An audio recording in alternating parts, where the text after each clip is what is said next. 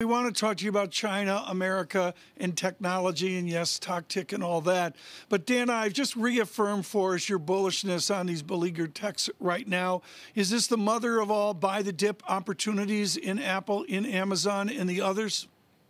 Yeah, look, I view it as a golden buying opportunity because, in my opinion, we're still in the sixth inning of a re-rating in tech, and this is just a healthy pullback. I still view 20 to 25 percent higher for tech stocks and FANG names over the next six to nine months. Dan, when you say that to clients in a Zoom meeting, whatever it is these days, 20 to 25% higher, what do they say back right now? Most of the questions are which are the names? Who in software do you own? What are the tech themes? Because, John, what I would tell you is it's two, it's two to one ratio. Investors looking to do the work on who the winners are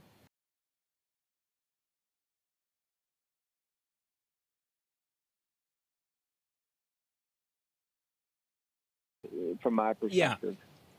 I think Deutsche Bank asked this question in the last week or so, Dan. So let me ask it of you. The distinction between a tech revolution and a bubble. A bubble, which I, you know, I was, I was, I was an analyst through 99, 2000. It was all about secular themes that might happen, and the stocks were massively overinflated with no profitable business models. Now, the secular themes are here today. In my opinion, the most transformational tech themes that I've seen in 20 plus years in terms of cloud, 5G, cybersecurity, and others. And these numbers now are starting to reflect it. That's the difference. The secular themes are here and they're on the horizon. It's not on the come and a hope. And I think that's the difference. And that's why this continues to be a paradigm change in terms of valuations for tech stocks.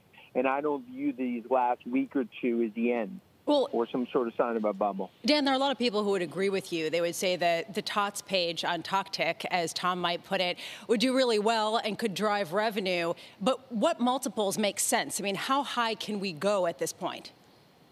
Yeah, and I think that that's where I think a lot of these names have to view it as some of the parts, as well as ultimately what numbers look like in a normalized state when we look at over the next 12 to 18 months.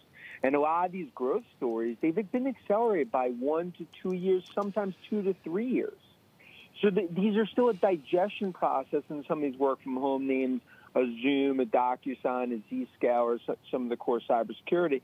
And when you look at large cap tech, I mean, the stronger getting stronger. And I think we go into earnings in terms of 3Q. That's going to be another catalyst higher, in my opinion.